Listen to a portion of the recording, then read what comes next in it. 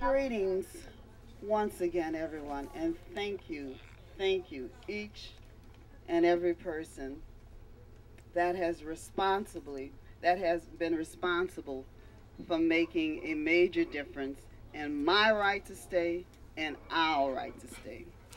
Saludos y muchas gracias a todos ustedes que han hecho posible y han sido responsables por mi derecho a quedarme y por el derecho de todos nosotros a quedarnos.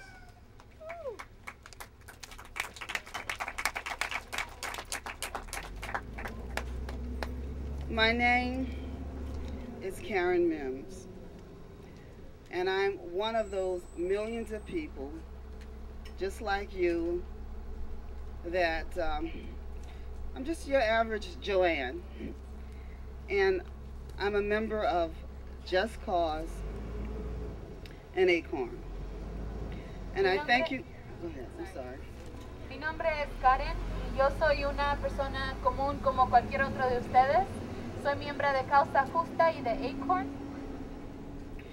You are my pillow, my pillar rather, in terms of my standing. Ustedes son el pilar en términos de que me, me ayudan a mantenerme. You and each and every one of you have made it possible Cada uno de ustedes lo ha hecho posible for my right to stay. de que yo tenga el derecho a quedarme.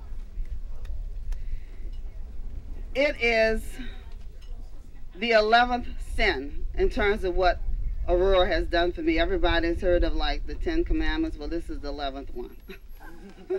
Este es el onceavo pecado en términos de lo que Aurora me ha hecho a mí. Ya ven que hay diez, pues este sería como el onceavo.